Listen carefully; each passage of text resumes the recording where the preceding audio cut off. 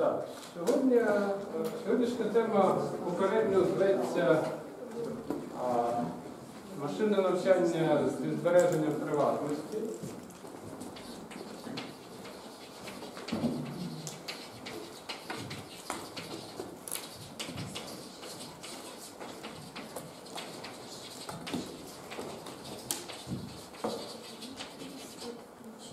Ну і це буде трошки незвична зустріч. Це не буде лекція ні в якому разі. Це фактично будуть коментарі до однієї відомої презентації, яку я останній рік е, раджу подивитися, послухати її озвучено всім, хто цікавиться криптографією. Це лекція на тему а, зв'язків між криптографією та машинним навчанням, яка була прочитана Шафі Голдвасер на останній конференції крипто е, в якості так званої Distinguished Lecture. Тобто е, кілька слів про всі ці слова, які я щойно назвав. Значить, ну, по-перше, Шафі Голдвасер. Це Е, Одна з найбільш відомих криптологів. Вона лауреат е, медалі Тюрінга 2012 року за відкриття мілірусного шифрування. Вона автор кількох криптосистем, вона автор е, мілірусного тесту на простоту, який використовує електричні криві. Вона одна з авторів е, поняття доведення без розголошення. Вона двічі лауреат премії Гьоделя, ну, це надзвичайно титулована і знаменита особа. І в минулому році на конференції Крипто 2018,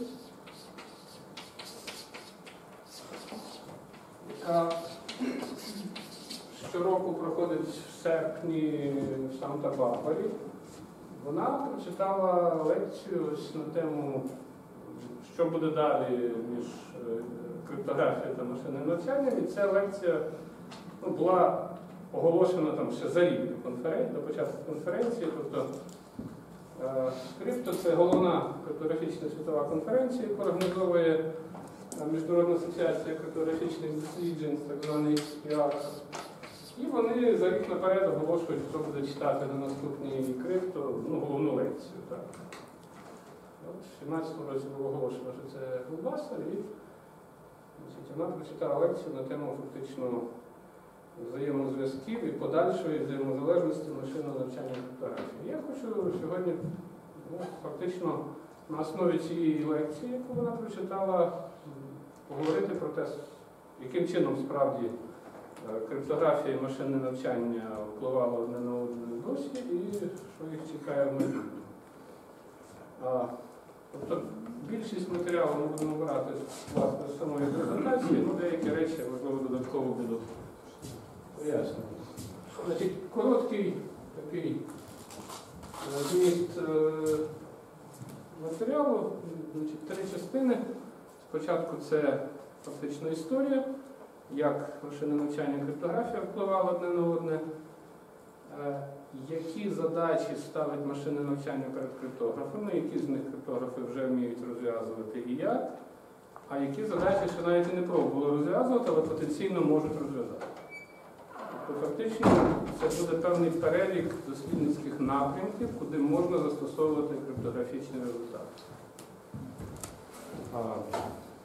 Отже, на початку так таке неформальне означення, що, що, що треба розуміти під машинним навчанням. Якось така лекція прочитана криптографом, то якось не випадало позначати, що таке криптографія. Да? Вважається, що всі знають. У нас теж криптографічний семінар, ми всі знаємо. Ось, що ж таке машинне навчання? Ну це певний такий конгломерат таких е, дисциплін, як е, статистика, складна математична статистика, як е, комп'ютерні науки і штучний інтелект. Насправді ідея машинного навчання полягає в тому, що ми виконуємо ту ж саму роботу, що виконують традиційні алгоритми, але самі, самих цих алгоритмів ми не створюємо. Тобто Тобто, ну, традиційно алгоритми там, беруть якісь дані на вхід і віддають якісь результати. Так? Фактично вони обчислюють значення якихось функцій чи значення якихось предикатів. Ну і насправді, якщо бути максимально чесним, то нас цікавить, щоб ці алгоритми правильно працювали в тих ситуаціях, в яких вони будуть застосовуватися.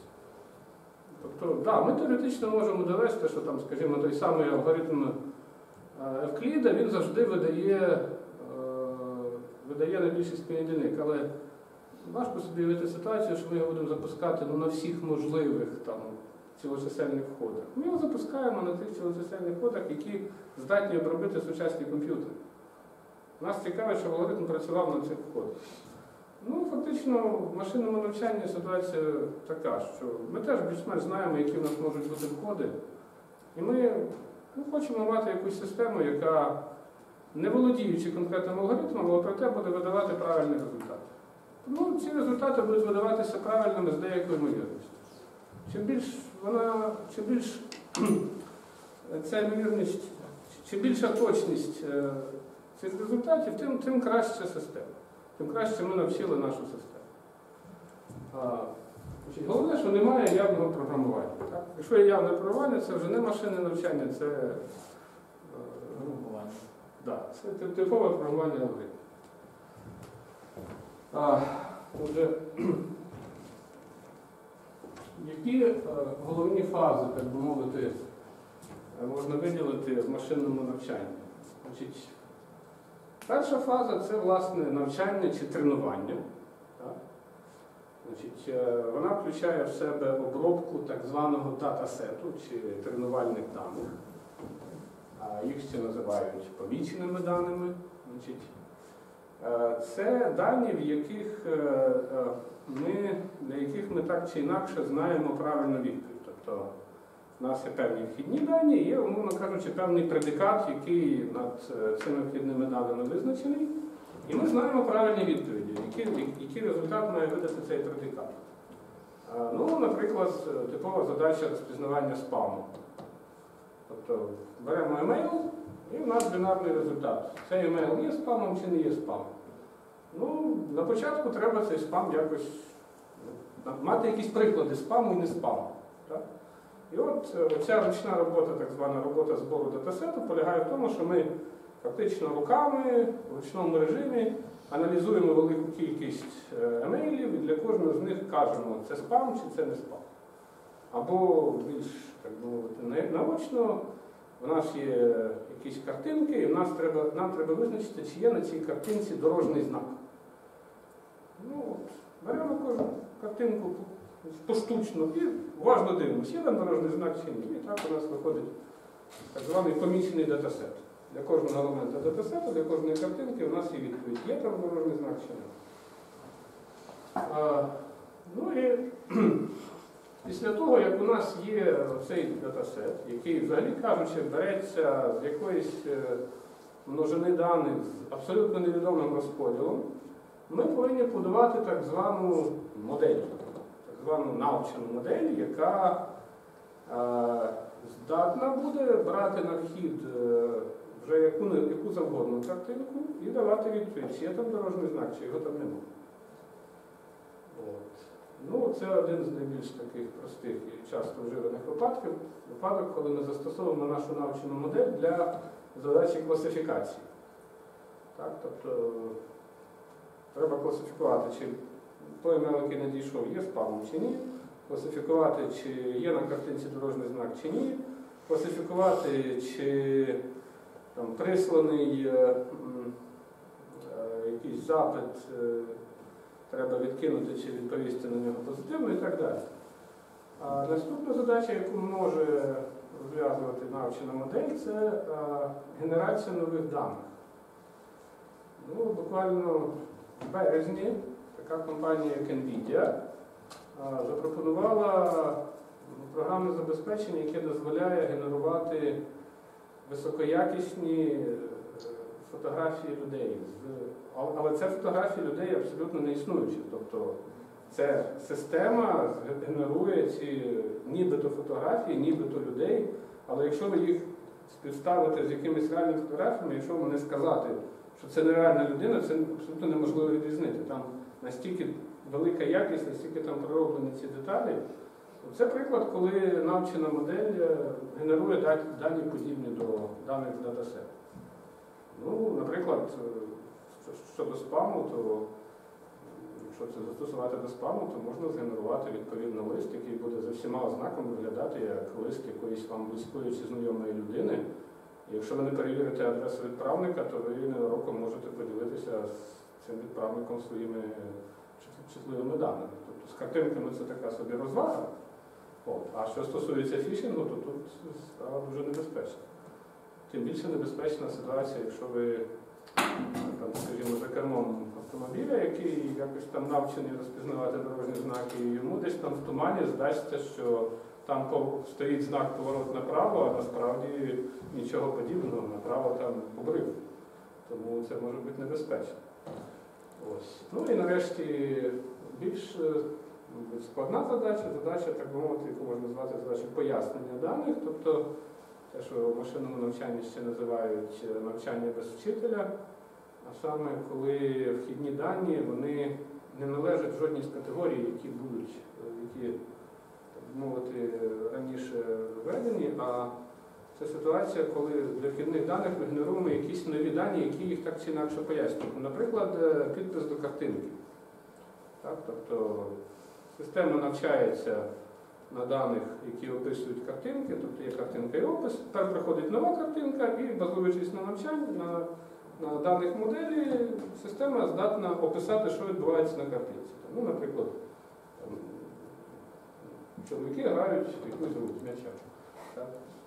Але вони при цьому ну, що вони могли, могли бачити якийсь раніше об'єкт. а тут- Ну, вперше таке було запропоновано, якщо ви пам'ятаєте, в 2015 році, то це вже відомі приклади, коли так працює навчена модель.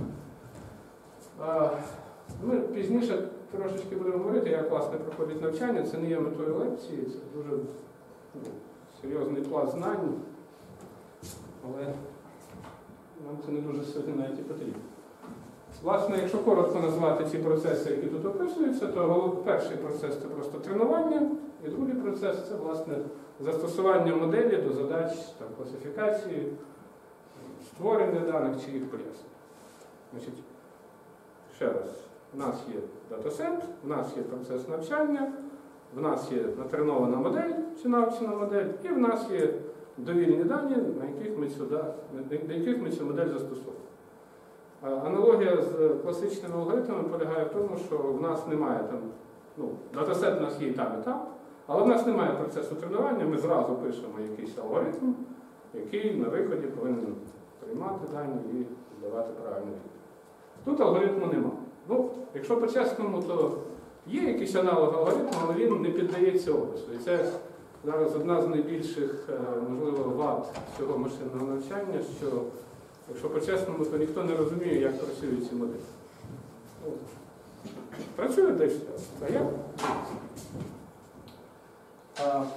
Давайте спробуємо подивитися на якусь дуже просту модель, яку ми хочемо застосувати до задачі обчислення значення диз'юнктивної нормальної форми. Так? Нормальна форма це диз'юнкція елементарних кон'юнкцій, вона не обов'язково досконала в нашому випадку. Важливо, що це просто ден.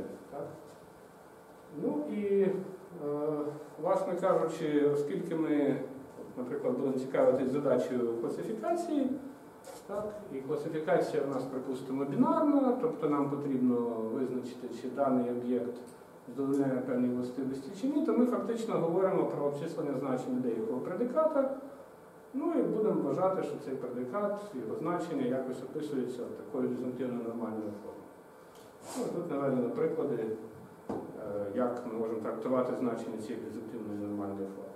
Тобто, власне, чи є нам в медичній сфері наданий об'єкт, задовольняє умову чи ні, чи е, в фінансовій сфері відповідь так чи ні на якийсь там запит, чи в сфері безпеки нам треба прийняти те чи інше рішення, ну і треба написати листик спам чи ні. Отже, припустимо, що наш класифікатор це просто обчислення деякої кон'юнктивної норм- нормальної форми. Єдина проблема, що ми її не знаємо. Вона дуже складна. Вона дуже складна, ми не знаємо ні переліку змінних, які туди входять, ні тим більше не знаємо внутрішньої будови цієї диз'юнктивної нормальної форми. Звичайно, якби ми її знали, то не було б потреби навчатися. Ми просто запрограмували цю ДНФ та й все. Але припустимо, що неможливо цього знати, тому що факторів, від яких залежить її значення, ну, дуже багато, і ми не знаємо, які, як впливати. Тому ДНФ впливати може.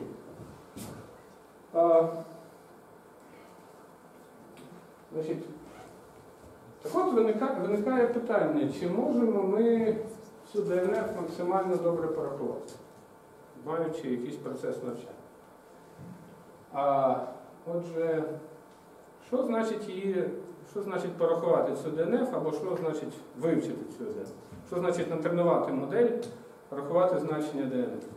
Ну, одне з означень надано в статті 84 року, яка тут згадується. Так? Е, Одне з означень, яке ну, власне, прийнятне в машинному навчанні, і воно полягає в наступному. А, значить, неформально значення звучить так. Ми кажемо, що ми а, ймовірносно і апроксимаційно коректно навчили нашу модель, так? якщо як тільки ми беремо якісь елементи з нашого датасету, де x це вхідні дані, а це від x це значення нашої DNF, а, і ми беремо ці дані з нашого датасету відповідно до певного розподілу D, так, то наш навчений алгоритм є о, ефективно навчений, якщо він е, з високою ймовірністю, е, з високою ймовірністю і апроксимаційно видає такий самий результат, як і наша кон'юнктивна, як і наша дизентивна нормальна форма С. Значить, що означають ці, ці слова? Значить, ефективно це означає, що цей е, алгоритм він полімерний відносно розміру вхідних даних і розміру самої кон'юнктивної нормальної форми, і те, що він з високою ймовірністю і апроксимаційний, означає, що оті помилки, які він може давати, тобто H це наш алгоритм, а це, це правильне значення. Так от, ймовірність того, що буде помилка, е, вона е, дуже маленька. Виріш того, що помилка велика, дуже маленька. Точніше так. Це стає. Ймовірність того, що помилка більше значна, вона маленька. Ну, строге значення є в статті, яка тут згадується. Значить, е, власне кажучи, в цьому вся суть машинного навчання. Ми хочемо, маючи чим більше даних, тим точніше визначати правильну відповідь. Але чим точніше це означає, що ми помиляємося, сильно помиляємося якомога рідше. Сильно помиляємося якомога рідше. Аж це гіпотеза, правильно? Значить, є справжня ДНФ С, так? Це те, чого ми не знаємо. Але ми на вхідних даних будуємо гіпотезу. Тобто H це е, наближене значення С. Так? І ми хочемо, щоб це наближене значення збігалося зі справжнім, так, щоб е, ймовірність помилки була, чим більша помилка, тим менша була ця ймовірність. Ось так. А помилка тут про яку помилку йдеться? Помилка йдеться про неправильне значення. Тут 0 або 1. Оскільки це, це дизентивно нормальна форма, то ми просто порівнюємо значення. Тобто аж це істина? Чи Ні, правильне значення це. Правильне значення це, а аж це наше гіпотетичне. Це те значення, яке видає модель. Ми не знаємо е, Не диз'юнктивної знаю. форми, але в нас є деякий чорний ящик, Так, який ви- скринька, яка видає значення, коли ми туди запустили. Ну, ми, ми віримо, що ну як, ми, е, ну так, ми віримо, що завжди є правильна відповідь. Так? Є певний предикат, в даному випадку, скажімо, класифікаційний предикатор, спам або не спам. Так? Він обчислюється, припустимо, за якоюсь ДНР. Ми її не знаємо і знати не можемо, бо ми не знаємо, наприклад, аргументів цієї ДНР, тим більше структуру не знаємо. І для кожного вхідного, кожного елемента датасету X є, є правильна відповідь, це від X. Наша задача побудувати наближену правильну відповідь H. І ось ми хочемо, щоб ця H, вона, ну, якщо помилялася, то Тобто доля тих іксів, на яких вони не співпадуть, дуже маленька. так. Ну, А ота імовірність е, справа, по чому там береться імовірність? Ну, наступне речення. Then probability error більше. ну, можна відкрити статтю і там почитати. Ну, Там, значить, ймовірність від імовірності. Ну так. Вірність від того, що помилка більша за. Внутрішня оця береться, мабуть, по іксам, а зовнішня по чому береться? А тут вже апроксимація. Тобто, чим більший простір вхідних даних, тим воно менше. Все одно ж вона по чомусь повинна. Ну так. Може по розподілам? Ні, тут розподілу ми теж не знаємо. Ми припускаємо, що розподіл один і той же.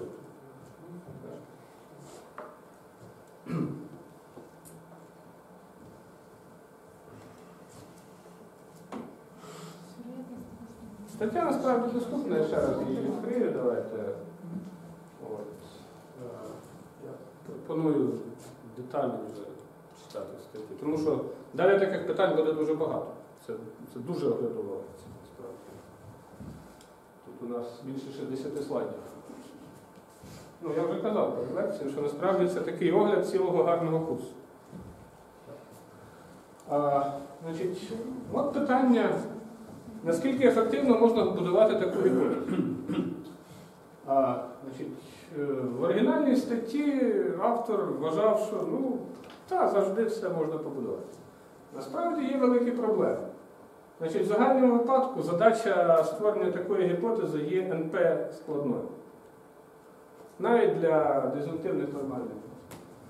Далі, якщо ми припускаємо, що значить, це, це, це верхній рядок цієї таблиці. А якщо ми припускаємо, що м, наша гіпотеза е, обчислюється полімерним алгоритмом такого степеня, то задача вже стає ефективно обчислюваною, але все одно алгоритм далекий від, від полімерного. Це, це другий рівень.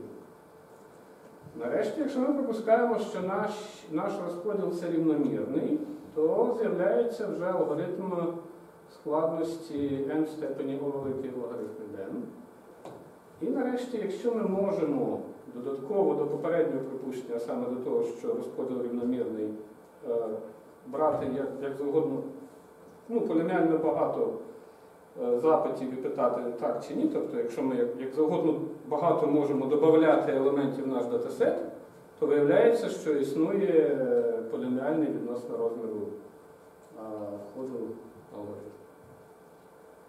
Тобто, ну, насправді, фактично, от останній випадок, мабуть, є найбільш е, практично вживаним, найбільш часто практично вживаним. Тобто ми, ми припускаємо, що завжди можна підучитися, ну, якщо по-чесно. Це останній випадок. Тобто щоразу, якщо нам не вистачає даних, ну давайте підучимо. Те, що у нас дані з рівномірного розподілу, це, теж е, Це дуже велике обмеження. Так всі здогадуються, що в житті рівномірних розподілів не буває, ну але припустимо, що там за якимись обмеженнями вони умовно дуже рівномірні.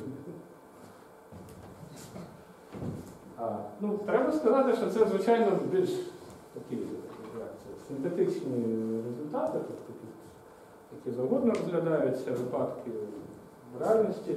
Там є додаткові, ну, тобто розподіл, конкретний розподіл може якраз навпаки посприяти, посприяти тому, що конкретна задача буде краще розв'язана. Так, тепер, ну, от, тепер кілька слів про цей самий перший рядок, коли задача не складна. Таких кілька результатів, де криптографія каже машинному навчанню не вдасться. Ну, власне, як- ми розуміємо, стійкість більшості криптографічних алгоритмів фактично базується на складності тих чи інших задач. Ну і неважко очікувати, що ця складність призводить до неможливості ефективно розв'язати ті чи інші задачі машинного навчання, от в тому значенні, яке ми щойно розглянули. Значить, перший такий результат був буквально через два роки після попередньої статті, тим же варіантом презентований. І результат такий, що якщо припустити, що е, є криптографічно стійким, то знайдуться задачі в обчисленому в, в класі складності NC, так званий клас полінома від логарифмів, так, які не можна, які- яким не можна навчитися. Тобто, прикладом такої задачі є задача знаходження найменшого значимого біта в криптотексті RSA. Так? Тобто на вхід приходить е, криптотекст RSA, так? і наш класифікатор повинен вгадати найменший значимий біт.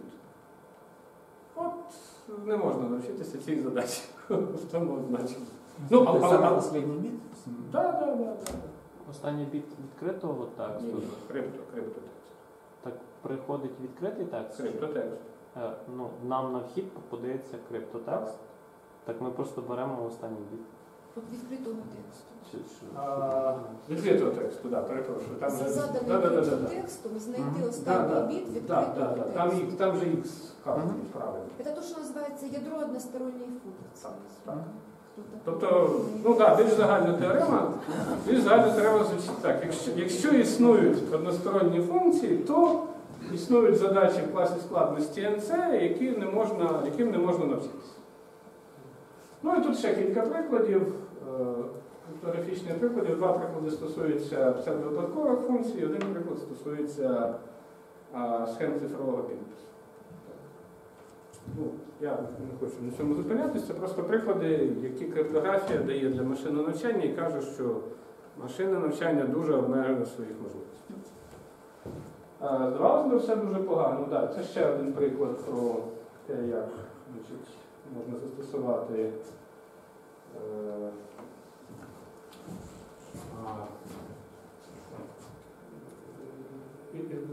Як можна застосувати факт існування криптографічно стійкого алгоритму цифрового підпису до доведення того, що а, ми не можемо згенерувати, ми не можемо згенерувати ну, якусь наперед задану, елемент якогось наперед заданого розкладу.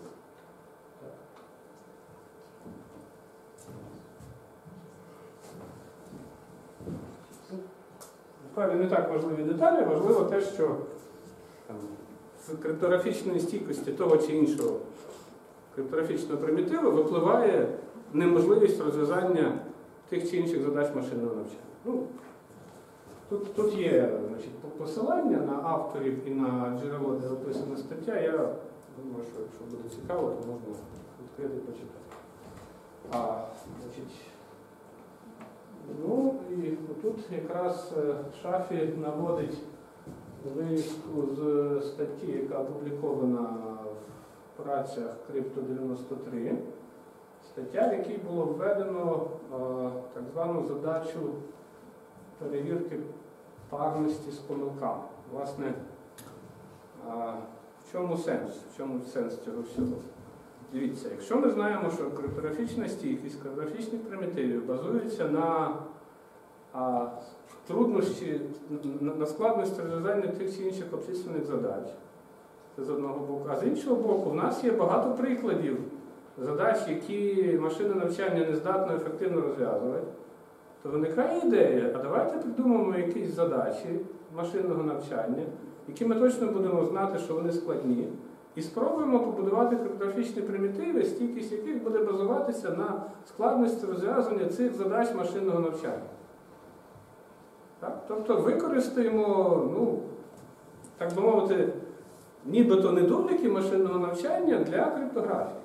Так? Тобто спочатку криптографія контриб'ютила машинне навчання і казала, та ти нічого не можеш. От у нас є такі задачі, що як не старайся, тобі нічого не вдасться. От, давайте навпаки. Отже, в чому полягає оця задача перевірки парності з помилками? Це дуже важливий момент. А, значить, а, як описується сама задача? Значить, задача дуже нагадує а, задачу розв'язування систем лінійних, системи лінійних рівнянь над полем з двох елементів. Значить, а, у нас є невідомий, в даному випадку бінарний вектор S довжини n. Ну от, е, якби у нас була класична система лінійних рівнянь, то була б задана якась матриця з n стовпчиками. Так? І нам би треба було з цієї матриці визначити наш невідомий вектор, вектор розвитку. Це класична задача, вона має, звичайно, поліноміальний розвиток, Гаусса її розв'язує, нічого цікавого немає, тут навіть ніякого машинного навчання не треба. А тепер припустимо, що в реальності нам приходить насправді не оця матриця з якимось правим стовпчиком, а цей правий стовпчик, він от якось зіпсувався, тобто в нього внесені якісь шуми. Тобто, от так як це традиційно відбувається в задачах машинного навчання, коли дані не чіткі. Так? Вони не піддаються якійсь там термінованій класифікації з самого початку. Тобто, припустимо, що ми насправді додали до стовпчика правих частин деякий вектор шуму маленький. Ну і цей вектор згенерований там з урахуванням, скажімо, розподілу Бернулі з параметром ρ. Тобто кожна координата з мірністю ρ це одиничка, з мірністю 1 мінус ρ це 0. Так? Інакше кажучи, з мірністю ρ ми кожну, кожну координату міняємо на протилежну. фактично.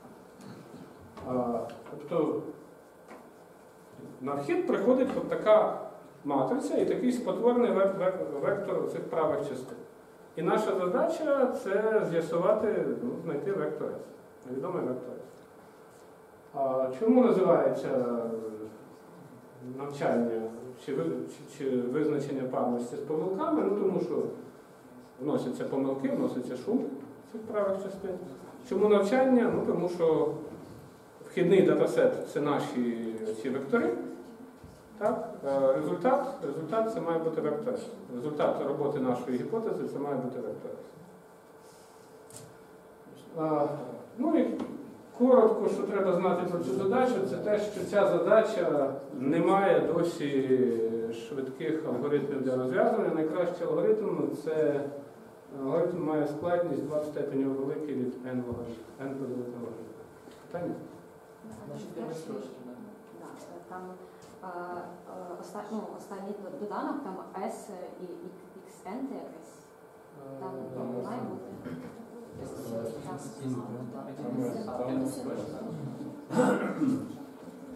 Останній. Перший Але теж є secret vector in Z2 to degree n. Ну, тобто це Z2 в степені n. Це не Останній Ні, на доданок першому рівнянні. Система. Первая система, да, у нас 0, и везде при 2 у нас нет. Ну, так, так само має бути якийсь, е, да, якийсь там коефіцієнт при SN.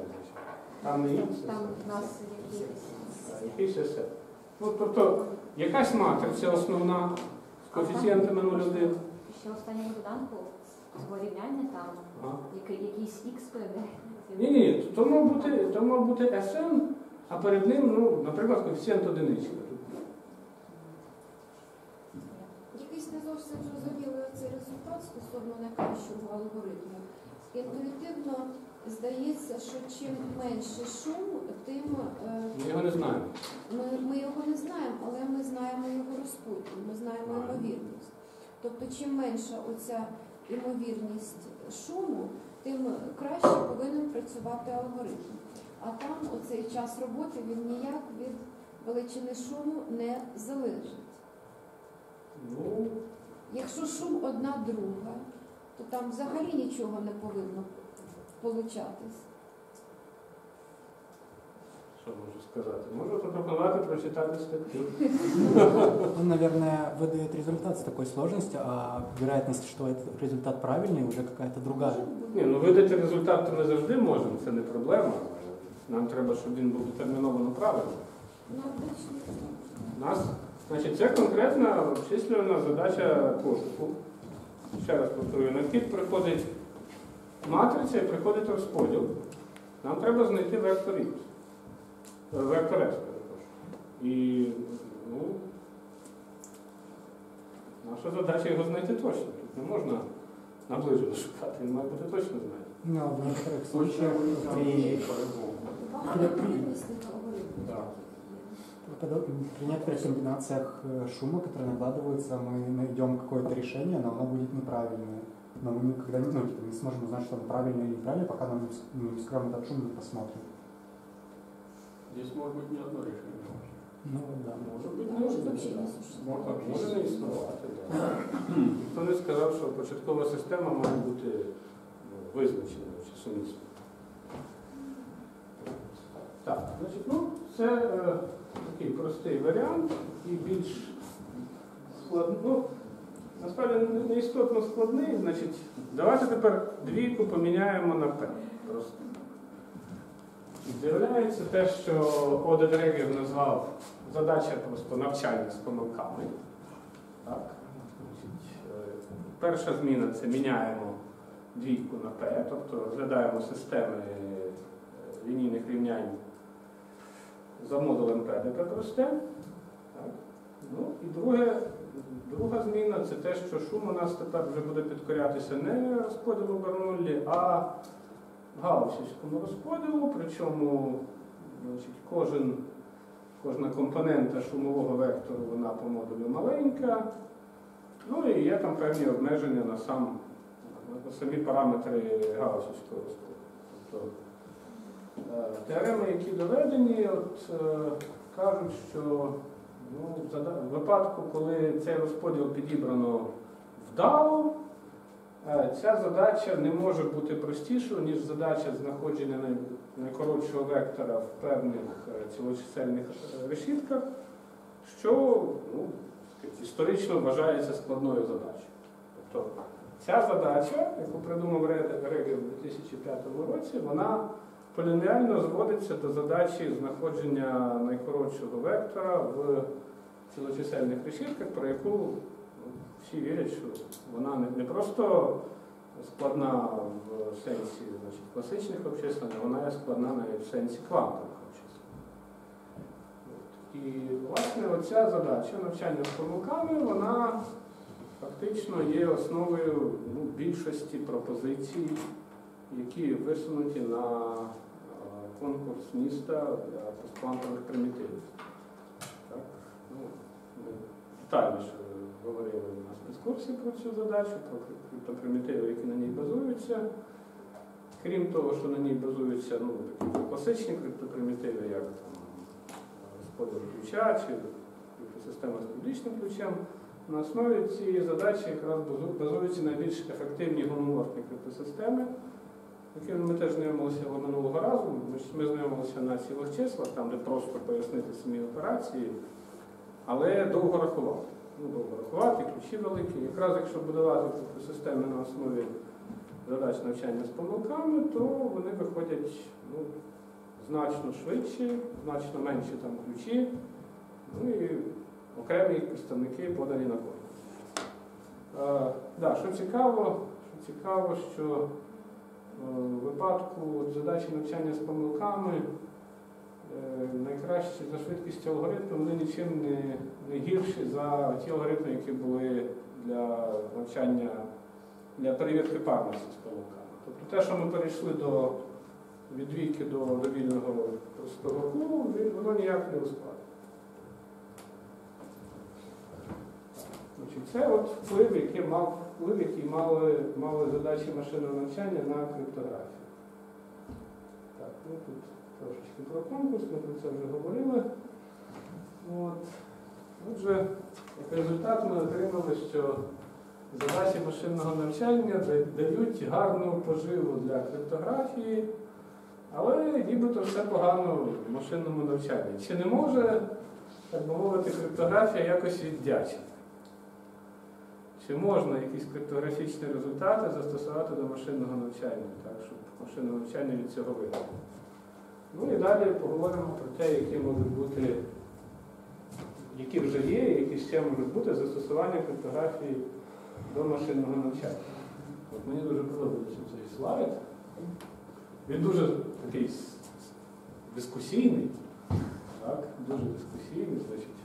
Тут є два твердження. Перше твердження, що значить, останні там, 30 років теорія і практика криптографії йдуть сказати, поруч, рука в ручку. Да? Тобто, ну, в принципі, так. Да. Тобто, якщо є якась теоретична атака, ну, то стараються і на практиці уникати криптопримітивів, до яких вона вразлива. От. Але дуже часто закривають очі, кажуть, та ви там теоретично можете, а на практиці ви нас не зламаєте. З іншого боку, в машинному навчанні є велика, реально є великий розрив між теорією і практикою. Тобто, так мовити, практичні фахівці з машинного навчання, вони, скажімо так, дуже вдало вміють користуватися, чи вміють навчати, чи користуватися тією чи іншою моделлю. Тобто, власне, основні досягнення це побудова вдалої моделі і застосування. А от, так мовити, теоретично пояснити, чому вона хороша для цих задач, для яких задач вона погана, це практично неможливо. Якщо ви візьмете там типову статтю машинного навчання, то там є, можливо, є опис датасету, опис там, часу навчання, табличка результатів з точністю. Але про архітектуру, скажімо, там, якщо це нейронна мережа, то сказано тільки щось дуже загальне, нічого конкретного. Причина, мабуть, не тому, що автори не хочуть про це писати. Якщо чесно, переважна причина в тому, що вони самі ці архітектури добре не знають. Тому що вона настільки складна, що її не зрозуміло, як описувати. А, ну, гаразд, це таке. Це не, не зовсім по темі, але а, проблема в тому, що машинне навчання, воно, хоча й немає ніякої, якщо чесно, немає ніякого теоретичного обґрунтування, воно, воно вже воно працює тут і зараз. І стосується всіх. Так? Воно стосується всіх, е, зокрема, ну, тут такі американські приклади, я можу навести приклади китайські, де вже працює так звана система е, соціальної лояльності громадян. Саме кожен громадянин має певний соціальний профіль, і цей соціальний профіль вносяться і його дані щодо його, так би мовити, якоїсь там фінансової спроможності, його поведінки на вулицях за рахунок його там активності, знятої на відеокамери, якісь інших дій. І цей соціальний профіль він будується не вручну, він будується за рахунок якихось алгоритмів машинного навчання, і на основі цього соціального профілю китайська влада може приймати те чи інше рішення щодо того чи іншого громадянина. Ну, наприклад, там, чи надавати йому там, якусь позику в банку, чи е, допускати його до якихось специфічних видів робіт і так далі. Ну, особливість Китаю, що якби, там, ніхто нікого не питав, чи це впроваджувати чи ні. Це просто впровадили і все, і це вже факт. Ось. Ну і ще одна така дуже відома фраза, що е, Дані це зараз нова нафта. Да? Знаменита фраза. І ця табличка показує, так би мовити, розмір компаній на ринку і значить, еволюції 2001-2016 рік. І зеленим кольором позначені ті компанії, які працюють з даними, які фактично заробляють на обробці даних. У 2001 році там була тільки одна компанія, а в 2016-му серед найбільших тільки такі компанії. Так, ну це така велика п'ятірка, ну під алфабет, хто не знає, мається на увазі Google. Насправді. Тобто офіційно Google це алфабет. Ну і от е, задача тепер в тому, щоб ці компанії разом працюють з даними, щоб вони поводилися з ними коректно. Ну і давайте коректно і зберігали приватність. Власне кажучи, це ті дві задачі, які добре навчилися розв'язувати криптографію. Якщо значить, зовсім так мовити спростити всі сфери застосування криптографії, то фактично криптографія націлена на збереження приватності і е, підтвердження коректності. Ну, конфіденційність і цілісність це одні з основних задач інформаційної безпеки, і вони їх розв'язування, як правило, зводиться до застосування тих чи інших криптографічних інструментів. Ну, от, власне, давайте подивимося, які задачі виникають е, в машинному навчанні, куди можна було застосувати криптографію. Ці задачі, ну, згідно класифікації шафі Клодласер, вона розподілила на три типи. А перший тип це ті задачі, які криптографія може допомогти розв'язувати і вже розв'язує. От, власне, перша задача це задача приватності даних. Значить, я нагадаю, що коли ми говоримо про е, машинне навчання, то все починається з певного датасету. Як правило, цей датасет так чи інакше пов'язаний з е, чутливими даними. А з даними, які пов'язані або з людьми, або з організаціями, або з якимись фінансами, фінансовими установами. Як правило, ці дані, ну, на даний момент ці дані, як правило, або збираються взагалі без повідомлення про те, що вони збираються, або перед тим, як їх збирати, відповідний, відповідна компанія пише такі довжелезні правила користування, і там стоїть один маленький значить, чекбокс, і ми, коли починаємо користуватися цією системою, ми його відмічаємо і користуємося. А з чим ми там погоджуємось? Ну, дуже рідко хто читає. Це унікум треба бути, щоб це все прочитати. Більше того, прочитати і зрозуміти, що там справді буде, це взагалі треба бути унікумом в квадраті. Тобто всі добровільно ці дані віддають, а потім дивуються, що ти диви, а Cambridge Аналітика, виявляється, стільки всього знає про нас. Або з'являються статті, що там соціальна мережа знає вас краще, ніж ви сам, чи там людина, з якою ви прожили 30 років. Ось. Це на рахунок того, що ми ці дані віддаємо, і вони просто обробляються дуже, дуже розумними навченими моделями. Або навчаються на них додатково, до, до научення. Значить, е, Отже, перша задача це все-таки ці дані якось е, зберегти приватність цих даних. Друга задача це приватність самої навченої моделі. Я нагадаю, що в результаті навчання не з'являється модель. І ця модель, е, ну, отримання цієї моделі це дуже велика робота. Так? Насправді найскладніше, що є в машинному навчанні, найбільш е, обчислено складно, це навчання моделі. Вона е, мусить обробляти величезні масиви даних, і, це робиться дуже нешвидко. Тому той, хто має модель, він так чи інакше хотів би, щоб ця модель була конфіденційно збережена. Тому приватність моделі це теж важлива задача. Ну і, власне, оці дві задачі, приватність даних і приватність моделі, це ну, те, те, що максимально лежить на поверхні. І те, до чого криптографія вже, те, чому криптографія може допомогти вирішуватися. А наступна, наступна задача це е, доведення цілісності, верніше збереження цілісності моделі. Збереження цілісності моделі, значить, тут е, мова йде про так звані е, зловмисні, зловмисні датасети. Значить, я думаю, що ну, багато хто бачив приклади мовити неправильної поведінки навчених моделей, моделей розпізнавання, коли ми бачимо купу картинок, де треба, скажімо, знайти котика. Модель багато разів правильно знаходить котика, а в самому кінці ми ніби бачимо котика, а він нам каже, що це, скажімо, там, пилосос. Так? Тобто візуально котик, котик, котик, всі нормальні котики, справа котик, котик, котик, а тут раптом пилосос. Що таке? Виявляється, що зміни відбулися на невидимому для ока рівні. Але ці зміни вони дуже принципові для моделі. Тобто, насправді на вхід моделі подається картинка, яка потім певним чином обробляється. Вона обробляється так, що а, ті параметри входу для моделі вони ну, виглядають як певний там, дуже, дуже вели... вектор великої розмірності.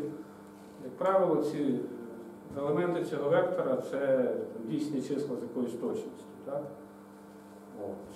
І от е, ми просто вносимо в цей конкретний вектор певні цілеспрямовані зміни, так що модель робить зовсім неправильний висновок. Вона на виході там може сказати там, котик, там, пальма, пилосос або не знаю. Да? І от ми робимо зміни так, щоб ціленаправлено направити її у відповідь пилосос, хоча візуально з самого початку картинка майже не змінилася. Неможливо відрізнити, чи це е, правильна картинка чи ні. Да. Что из себя вообще представляет модель? Это структура какая-то? Ну, це певна структура даних, абсолютно правильно. Це певна структура даних, яка, ну, умовно кажучи, її можна уявляти собі як певний вектор, так? чи певну функцію, так? яка приймає на вхід елемент датасету і видає певну відповідь. Ну, говоря. Ну, так, якась функція. Але справа в тому, чим задається ця функція. Вона задається правилом обчислення, тобто архітектурою мережі, параметрами цієї мережі. Параметри це так звані, а, так звані вектори градієнтів. Це, якщо ми говоримо про штучні нейронні мережі, то це величезний масив даних. Тобто робота моделі полягає в тому, що вона бере вхідний вектор і за цими векторами градієнтів обчислює послідовно все нові і нові значення, так що в кінці вона потрапляє в один з е, слотів, де вона отримує ту чи іншу відповідь. Тобто є з самого початку певні значення, для яких є та чи інша відповідь. Скажімо, відповіддю може бути якесь число в інтервалі від е, 0 до 20. Якщо це число від 0 до 10, то це котик. Якщо це від 10 до 15, то це пилосос. Якщо це більше 15, ну то система скаже, не знаю. От. І для коректних картинок з котами там, там, ми отримуємо менше 10, все добре. Тепер ми трошечки змінюємо оцей вхідний вектор. Картинка ніби візуально не змінюється, але ми потрапляємо в проміжок від 10 до 15 і модель нам каже пилосос. Хоча ми бачимо кота. Якщо знати архітектуру мережі, то цю задачу, ну, задачу підробки даних розв'язувати абсолютно елементарно. Це, ну, не знаю, такий, ну, 10 рядків коду на Python. Згенерувати ці, фальшиві дані. Якщо ви знаєте архітектуру мережі, якщо ви знаєте оці, оці градієнти. Навіть якщо не знаєте, теж є приклади атак. Отже, наступна отже, задача, яку тут можна пробувати розв'язувати криптографічними методами, це захищатися від атак такого виду, від підробних даних. Захищатися від підробних даних. Значить, ці дві, на, ці два напрямки, ці дві задачі криптографія вже здатна розв'язати. Які ще є задачі?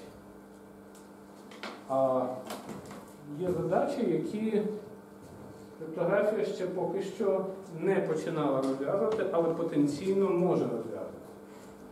Значить, ось тут е,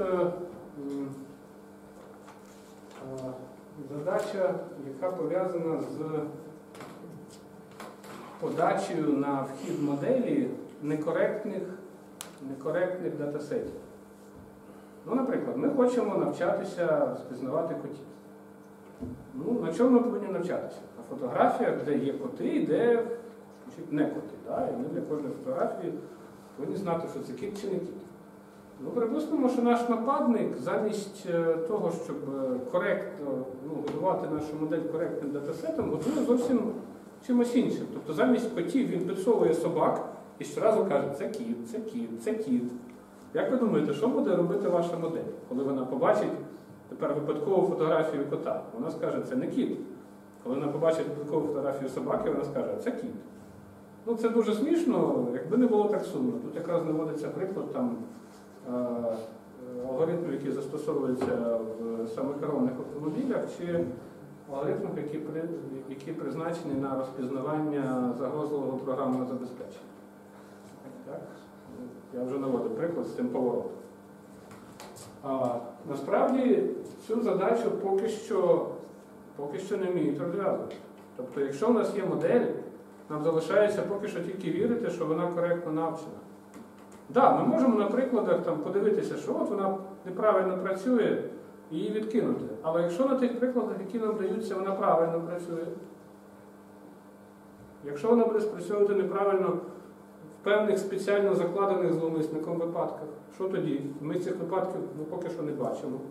Якщо це, скажімо, якесь зловмисне програмне забезпечення, яке спеціально може пролізти крізь нашу модель для того, щоб обманути якийсь вбудований антивірус. Ну, що проблема тут є. А, наступна, наступна потенційна задача, яку можна пробувати розв'язувати розв'язувати засобами криптографії. Вона не розв'язана, ця задача. Це так званий е, машинного навчання. Задача така: придумати спосіб навчання моделей такий, що для дачі неправильної відповіді моделі прийдеться розв'язати якусь складну обчислювальну задачу. Тобто для того, щоб дати неправильну, щоб дати неправильну відповідь, їй прийдеться фактично працювати нескінченно довго. Тобто ми себе убезпечуємо від неправильних відповідей. Тобто, якщо відповідь правильна, модель каже правильно. Якщо ми бачимо, що вона працює і нічого не каже, фактично для нас це означає, що вона не, готова дати відповідь, і це для нас куди краще, ніж би вона нас обманула. Такого ще нема. Це, так би мовити, ну, відкрита задача. Як будувати моделі так, щоб неправильну відповідь, дача неправильної відповіді означала розв'язування якоїсь важкої обчислювальної задачі.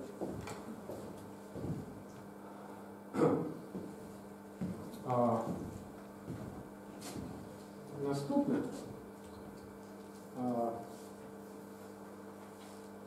Як е, можна захиститися від такої, від такої загрози? Загроза це значить, неавторизоване використання даних та власної моделі.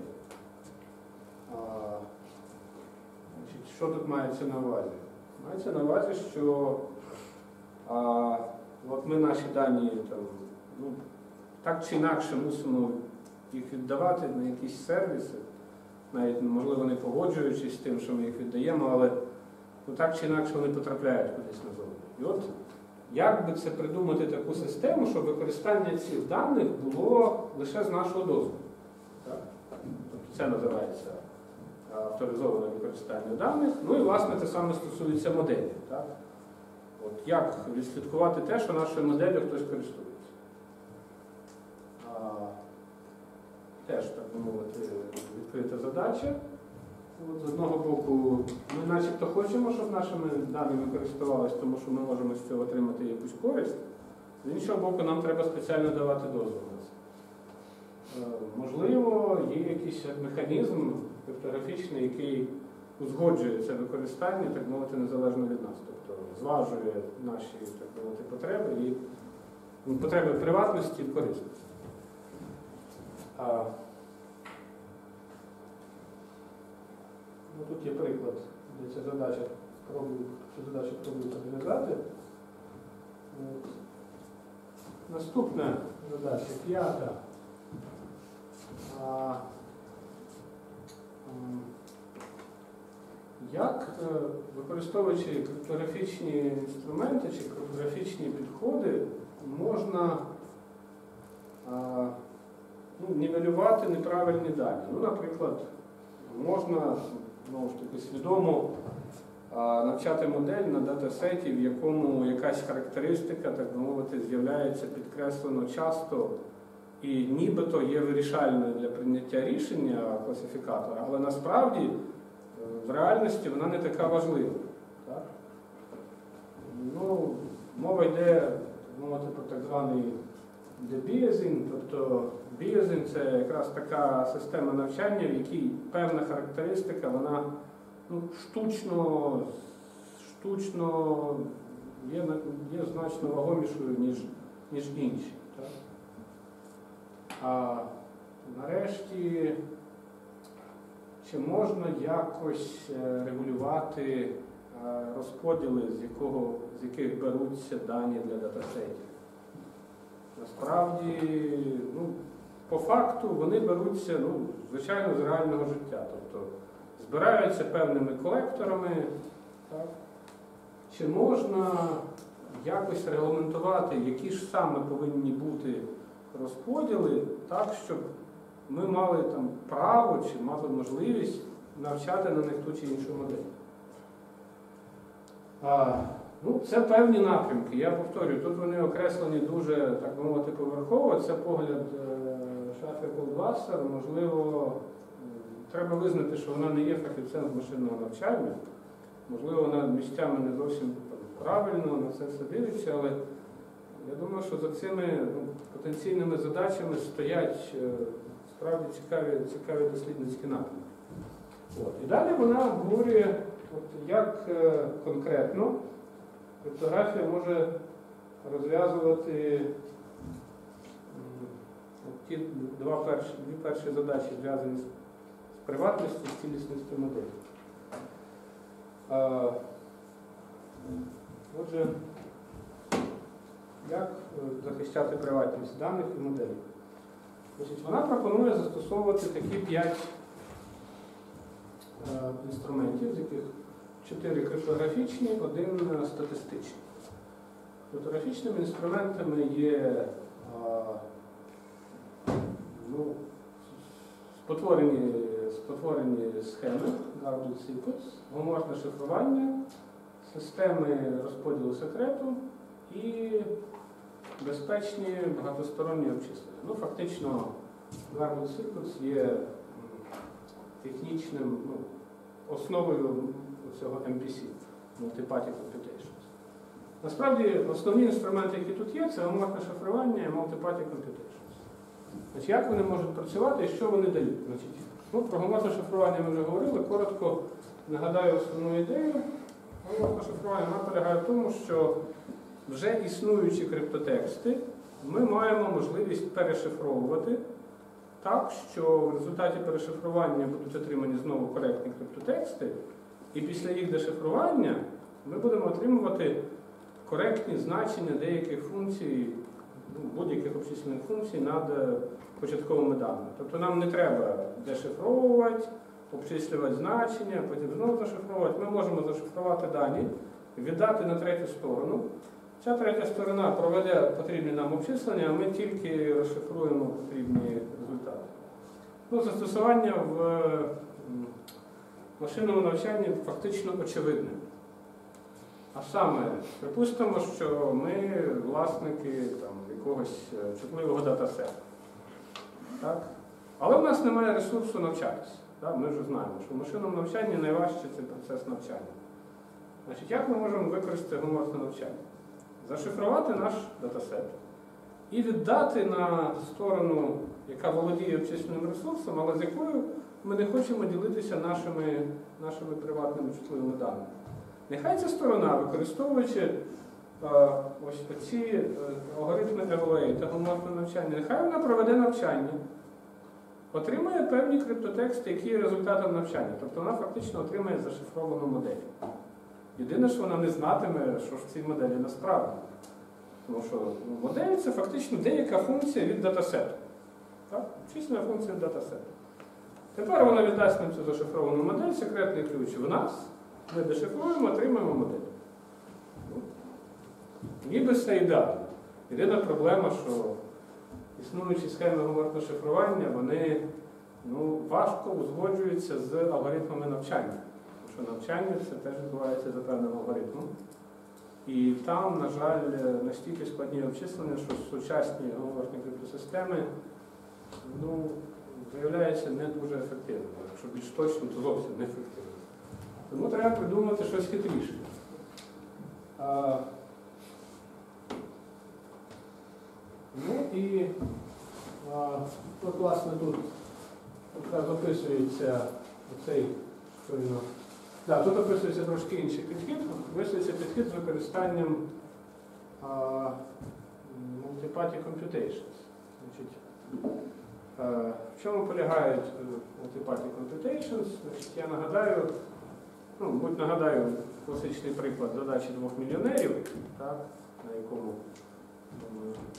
можна загальну систему зрозуміти. Значить, задача двох мільйонерів полягає в тому, що в нас є дві сторони, які володіють якимись даними, наприклад, цілими числами, і вони хочуть е, задіяти якийсь протокол без, без участі третьої сторони, якій вони довіряють, в результаті виконання якого кожна з сторін перше дізнається якесь тих чисел більше, але не дізнається значення другої сторони.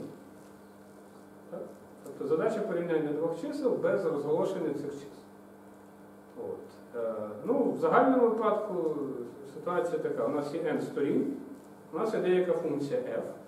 І в нас задача полягає в тому, щоб організувати протокол обміну даними між сторонами так, щоб ніхто не поділився своїми даними з іншими, проте кожен дізнався значення цієї функції f від вхідних даних, які є в наших сторонах. Це задача багатостороннього безпечного обчислення, multi-party computation. От. Ну, а є ну, задача мільйонерів, це приклад так званого two-party computation.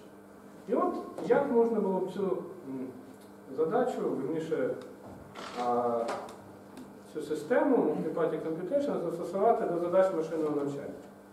Значить, е, насправді цінність кожної навченої моделі полягає в тому, що вона ну, працює на певних даних. Да? Якщо, якщо модель навчили, але нею ніхто не користується, ну навіщо ця модель потрібна? Насправді весь сенс був в тому, щоб її навчити так, щоб вона могла обробляти якісь дані. І от такий простий випадок, коли в нас є з одного боку е, серверна сторона, яка володіє моделлю, але хоче значить, захистити приватність цієї моделі, і є клієнтська сторона, яка володіє даними, хоче захистити приватність цих даних, але тим не менше хоче скористатись моделлю. Тобто, з одного боку, інтерес використати модель, але не розкрити дані, з іншого боку, е, заробити на існуванні моделі, на використання моделей, але не поділитися самою моделлю. Тобто, наприклад, два медичні заклади. Один медичний заклад має там суперкомп'ютер, а інший має дуже серйозну якусь діагностичну лабораторію. Той медичний заклад, який має суперкомп'ютер, він вміє обробляти ті чи інші діагностичні дані для того, щоб створювати дуже точну модель там, хвороби чи прогноз для лікування і так далі. Відповідно, та сторона, яка володіє гарною діагностичною лабораторією, може зібрати дуже багато, дуже багато чутливих даних, на основі яких ця модель може побудувати правильний прогноз. І обидві сторони одні одні, ну не те, що не довіряють, але не хочуть ділитися цими даними з різних причин. Що їм робити?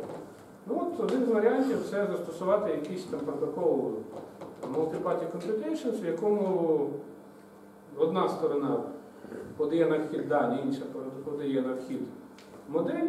В результаті обчислення, які проходять, сторона, яка подала дані, отримала якийсь там коректний діагноз, а сторона, яка мала модель, отримала е, ну, додаткові дані для, так би мовити, до, вчань- до навчання моделей. Але ці дані ну, не розкриті.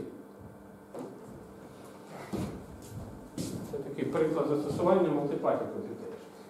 Насправді, е, обидві ці, підходи мають як плюси, так і мінуси. Так, вони мають як плюси, так і мінуси. Зокрема, е, що стосується от, е, computations, то там е, чи багатосторонніх обчислень, то там основна проблема це велике навантаження на мережу на передачу даних. Тобто, як правило, всі протоколи вони інтерактивні і приходиться дуже багато разів обмінюватися великими даними. Що стосується гомоморфного шифрування, то, як я вже казав, обчислення виходять дуже повільними, і для того, щоб навіть порахувати якусь дуже просту функцію, доводиться генерувати ну, дуже велику кількість ось цих evaluate -ів, розглядали. Тобто evaluate для якоїсь складної функції він розкладається в такий дуже нетривіальний ланцюжок допоміжних обчислень. Це дуже довго. А, а, ну і от тут якраз Шафі згадує одну з своїх статей недавніх 15-го року. Значить, ідея в тому, що значить, давайте ми подивимося, якими бувають класифікатори. Можливо, класифікатор, який у нас використовується, він лінійний. Так? Це найбільш простий класифікатор, а саме, що означає лінійний класифікатор? Ну, я нагадаю, що, як правило, датасет це певний вектор в якомусь е, векторному просторі великої розмірності, афінному просторі великої розмірності. Якщо наш класифікатор повинен сказати так чи ні для вхідного вектора, то можливо існує якась гіперплощина в цьому афінному просторі, так що всі точки, які лежать по один бік цієї гіперплощини, вони дають відповідь так, а інші дають відповідь ні. І от е, виявляється дуже багато моделей, які фактично працюють за принципом лінійного класифікатора або якогось конгломерату лінійних класифікаторів. І цим можна скористатися для того, щоб використати криптографічні інструменти для забезпечення приватності. От е, якраз е, статті, яка згадується, будується спосіб застосування цих класифікаторів з урахуванням гомоморфного шифрування і е, багато, ну, багатосторонніх безпечних обчислень. Це такий ну, живий приклад, де це працює. Ну, треба сказати, що в 2018 році Шафі Балдваса зі своїми учнями заснувала певну комерційну компанію, яка надає сервіси такого безпечного використання моделей. Значить, як називається ця компанія, можна прочитати на її сторінці. Але це приклад, коли криптографи створюють, так мовити, фактично комерційний стартап, який ну, експлуатує власне їхні так сказати, можливості для, для якихось е, практичних застосувань. І це не єдиний приклад. Ну, тому, що ну, сучасна криптографія вона насправді настільки складна, що простіше криптографам самим створити it компанію яка буде використовувати ці інструменти, ніж е, когось навчити. Тобто, ну, це, це не єдиний приклад, повторюю. Приклади там Нігеля Смарта, який теж е, заснував якусь компанію, є ось приклад Шафі Голдвасер, яка є теж засновником компанії, і інші приклади. Тобто це доволі типово. А, так, ну тут говориться ці лінійні класифікатори, але насправді найцікавіша, найцікавіший, найбільш е, розвинений зараз розділ машинного навчання, він базується далеко не на лінійних класифікаторах, а на класифікаторах, які використовують штучні нейронні мережі. Так, значить, е, ну, я вже трошечки розказував, що от, е, ця модель, яка будується в результаті навчання, її можна собі уявляти як певний вектор. Ну, якщо більш точно казати, то це не зовсім вектор, а це певний орієнтований зважений граф. Так? Орієнтований зважений граф, от, ну, який ну, називають штучною нейронною мережею. Значить, цей граф має так звані а, вхідні і вихідні, вхідний і вихідний рівень і має так звані приховані рівні. Якщо зовсім спростити значить, принцип роботи цієї мережі, це, він полягає в тому, що на вхідному рівні кожен вхідний вузол, кожен, кожна вхідна вершина приймає певну координату е, вектора датасету, а на вихідному векторі, на вихідному рівні у нас виникає вектор за за значеннями ваг цього вектора. Ми зрештою визначаємо, ну, чи вхідний наш вектор належить до того чи іншого класу, або чи до одного з двох класів, ну і так далі. Ну і все, що відбувається всередині мережі, це перетворення вхідного вектора згідно правил, які регламентуються вагами, які стоять на наших вершинах. Значить, задача навчання це правильно розставити ваги. Так? Правильно розставити ваги на вхідному датасеті. І існує величезна кількість способів побудови цих мереж для того, щоб ці ваги розставлялися, ну, по-перше, ефективно, і по-друге, точно. Тут виникають різні архітектури мереж. Ну, так, щоб трошки полякати, то такі серйозні мережі вони містять всередині е, там, кілька десятків мільйонів вершин. Тобто вектор, який це вектор градієнтний, це вектор там, довжини там, 30 мільйонів. От його треба побудувати. Щоб його побудувати, ну, треба обробити величезний датасет. Ну, всі, напевно, чули про там, суперкомп'ютер AlphaGo, який там, обіграв чемпіонів світу, всіх чемпіонів світу з Go. Насправді цей суперкомп'ютер це певна модель, яка навчалася на реальних партіях Go. Так, і вхідними даними там були позиції і мовити, виграшні ходи. Це ще також нейромережа Альфа-Зеро, яка в шахах там виграла у Стокфіші. Ну, шахах там взагалі ще й до машинного навчання були хороші алгоритми. алгоритми. А тут просто мережа. Ось. Так от, в чому проблема? Проблема в тому, що оце правило розстановки ваг, воно регламентується нелінійною функцією. Фактично, ми в кожному вузлі маємо справу з певним класифікатором. Але цей класифікатор він нелінійний. Він описується ну, якоюсь функцією, наприклад, логістичною, там, яка має от такі графіки, ну, як арк- да? ну, може бути арктанець. То певний нелінійний класифікатор. І оцей нелінійний класифікатор треба якось наблизити криптографічними засобами. Тобто, коли ми хочемо застосувати гомоморфну криптографію до навчання такої нейромережі, ми зобов'язані для кожного персе- персетрона застосовувати певне наближення цієї активаційної функції в термінах можливостей нашої гомоморфної криптосистеми. Тобто виникає задача наближення і потім ефективного застосування гомоморфної криптосистеми.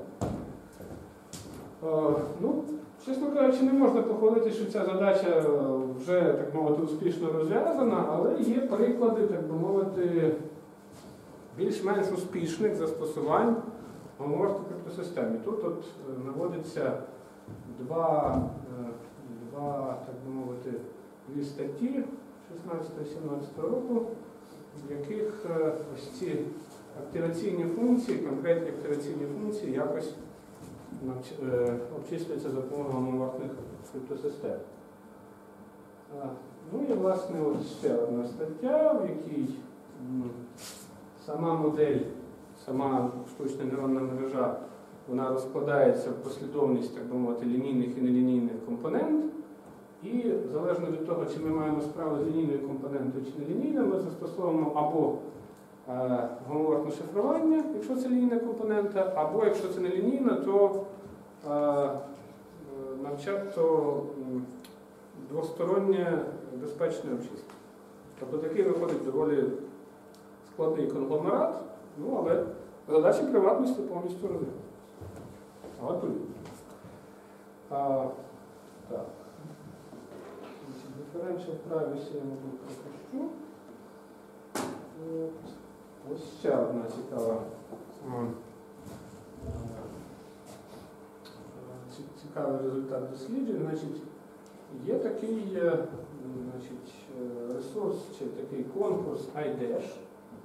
Значить, він полягає в тому, що нам потрібно, е, маючи дані е, ДНК, так, е, встановити, ну, те, що називається їх розшифрувати, так, побудувати модель. Модель відповідно відповідної системи. Фактично на вхід приходять такі сирі дані, які здатна видати лабораторія, ну а нам треба побудувати цю модель ну, математичними засобами. Ну і ясно, що це все дуже легко робиться, якщо ці дані обробляти в відкритому вигляді, але що робити, якщо ці дані ми хочемо зберегти приватно? Тобто так, щоб ця модель моделі цього ДНК не була от Айдеш проводить регулярно конкурси. От, і останніх, так мовити, останні учасники вони застосовують вже гомоморфне шифрування. Тут згадується два переможці конкурсу 17-го року. От, обидва використовували гомоморфне навчання, е, шифрування і е, певну, певні, певні моделі машинного навчання для розшифрування цих геномів. А, І вони достатньо ефективні. Тобто це конкретні приклади застосування.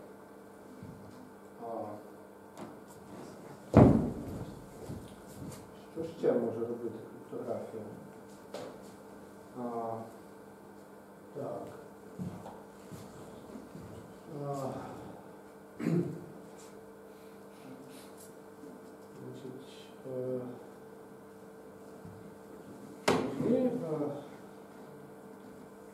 ну, не те, що може, так, тут е, пропонується певний підхід до конструювання нейронних мереж з використанням повністю глотного навчання, е, в яких, е, ну, на думку шафі, насправді трошки мало даних для оцінки цих результатів. Вона тут згадує відповідну статтю.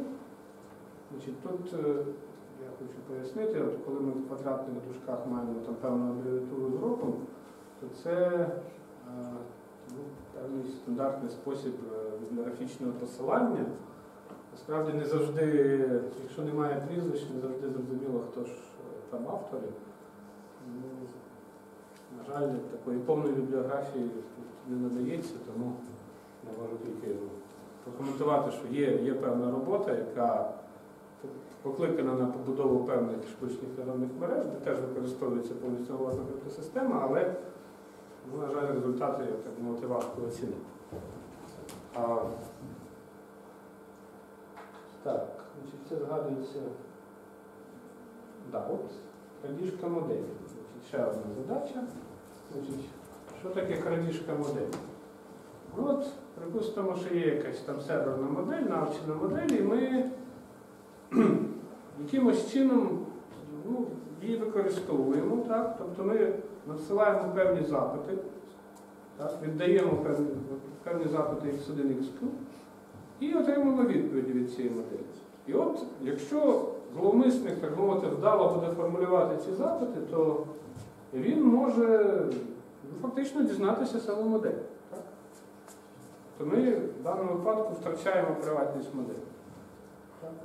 І от там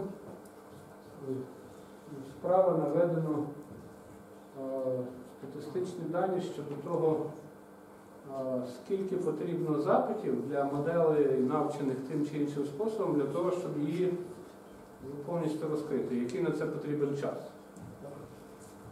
Ну, виявляється, прості моделі дуже швидко крадуться. Тобто, припустимо, там якась, е, якийсь сервіс витратив багато ресурсу на те, щоб модель навчити, зібрати датасет, навчити модель. Зловмисник просто там буквально там, за 5 хвилин взяв та її вкрав. Просто ну, ніби коректно користуючись нею. Да? Ми там відкриваємо якийсь сервіс там, для розпізнавання картинок. Вони кажуть, присилайте нам картинки, будемо казати, це котик чи ні. Ну, нам прислали там 600 картинок, так? і протягом одної хвилини нашу модель вкрали. І все, і той, хто вкрав, може теж відкривати сервіс і сказати, а, ну, ми розпізнаємо котиків. Це все так просто робиться? Ну, ось статистика. Я...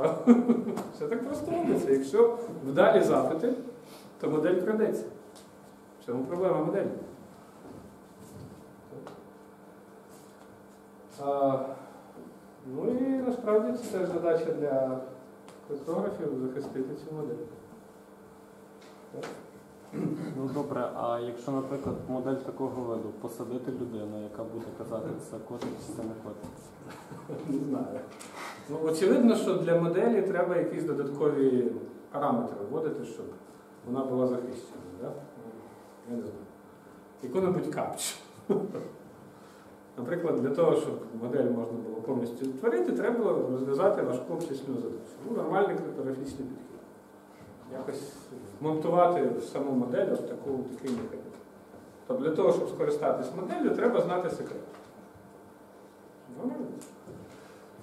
Так от, ще одна задача, вже буде остання, про що ми поговоримо. Значить, задача правильності використання.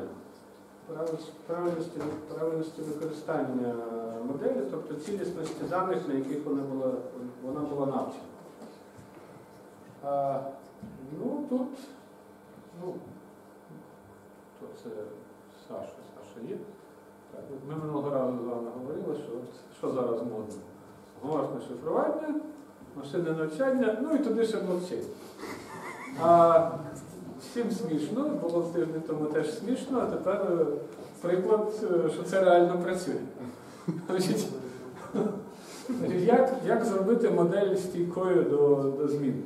Ну, треба зробити так, щоб дані, на яких вони навчалися, були коректно зібрані, і всі могли підтвердити, що вони коректно зібрані. Один з таких ну, способів, який традиційно використовується, це фактично блокчейн. Або більш точно протокол розподіленого консенсусу, коли є багато сторін, які володіють якимись даними, і їхня задача це там, ну, і вони. А, значить, і, і, і стан цієї системи описується значить, певною машиною станів, і перехід цієї машинної стані, машини стані в наступний стан може відбутися лише згідно певного протоколу консенсусу. Так? І от, наприклад, блокчейн, який зараз дуже модний, він фактично пропонує певні, певні протоколи досягнення цього консенсусу. І от е, ми можемо побачити тут значить, згадку про роботи, в яких якраз е, ну, стійкість цієї моделі чи коректність побудови моделі фактично базується на основі, на основі блокчейну. Ну, тут використовується один з максимально класичних е, алгоритмів, алгоритм Лампорта для досягнення консенсусу, е, який стійкий щодо візантійських атак. Коли ну, не більше третини вузлів нашої розподіленої системи може вести себе зловмисно. Так. Ну, це теж окрема історія, це протоколи консенсусу, у нас там заявлена тема приватність в розподілених мережах. Можливо, там про це детальніше поговоримо. Ну, от, тут про це згадано, хоча б тому, що якраз е, дані можна захищати ще й таким чином. Якщо вони збираються з різних узлів, ну то, зокрема, узли можуть брати участь у верифікації того, що вони коректно зібрані і коректно використовують. Плюс ще до навчання можна. І може бути до навчання. Так. Ну, Тобто, тобто ніякий зловмисник не може підсунути якісь зловмисні дані. А,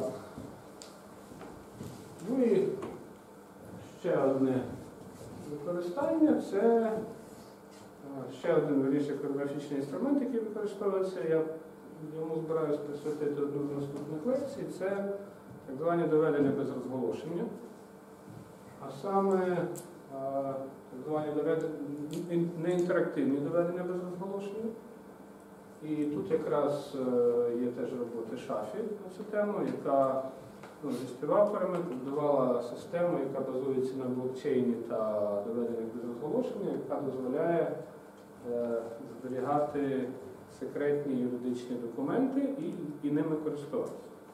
Тобто в блокчейні зберігаються юридичні документи з, так би мовити, певним обмеженням на доступ, але тим не менше особи, які не мають права доступу, вони можуть перевірити, чи ну, існує чи, та чи інша юридична норма. Існує та чи інша юридична норма, ну, не розкриваючи сам документ. Це її стаття 18 року. Я думаю, що е, вона її трошки тут згадує. От. Вона тут згадує певний е, певну конференцію, яка була присвячена е, доведенню без розголошення. Ну, нагадаю, що Шафі є одним з співавторів власне, поняття доведення без розголошення, і, власне, премію Гьоделя вона отримала фактично за ну, протоколи доведення без. Тобто основний її, мовити, внесок це саме протоколи безрозголошення. Ну і застосування цих протоколів в машинному навчанні більш-менш очевидне, тобто е, був такий слайд. Да. Це про застосування. А, значить, інтерактивний протокол доведення без розголошення полягає в тому, що, е, допустимо, у нас є е, якась модель, зліва це Аліса, да, яка володіє моделлю. Ну і є Боб, який хоче перевірити, наскільки ця модель е, коректно працює. Ну і от, застосовуючи який-небудь ну, один з конкретних протоколів, тут згадується стаття в шафі з розділу 18 року. Е, Вони якраз і можуть організувати протокол комунікації, в якому, по-перше, власник е, моделі не розкриє саму модель, а верифаєр в даному випадку, ну більш казати коректно верифаєр, а верифаєр пересвідчиться, що модель справді працює з заявленою точністю. Тобто Такий, спосіб застосування криптографічного примітиву для перевірки там, точності роботи моделі. Ну, але про Knowledge ми ще поговоримо. Ну, я ще раз е, хотів сказати, що ціль була насправді обговорити лекцію Шафі Болдваса і зрозуміти, як вона дивиться на майбутні шляхи розвитку машинного навчання і криптографії. Тобто е, загальна ідея, що в машинному навчанні є дуже багато задач, які або зовсім ще не вирішувалися, або вирішувалися, але не дуже вдало, і їх можна вирішувати з використанням криптографії. То є дуже багато криптографічних інструментів, які можна використовувати саме для задач машинного навчання, і це ну, дуже перспективний напрямок як е, практичних, так і теоретичних досліджень криптографії. Я е, надсилав посилання на цю презентацію. Якщо можна, я вас попрошу його надіслати в усій групі, яка підписана на наш семінар. Я думаю, що можливо після того, як я сьогодні розказав, буде простіше послухати саму шафі. Тому що вона це все озвучує там протягом години і дуже швидко. Ну, і Можна поставити на меншу швидкість. Ну, звичайно, її рівень там недосяжний. Багато чого спрощував, багато чого пропускав. Але основна ціль, підкреслити зв'язок, який потенційно є, і ті задачі, куди можна спрямовувати зусилля. Питання?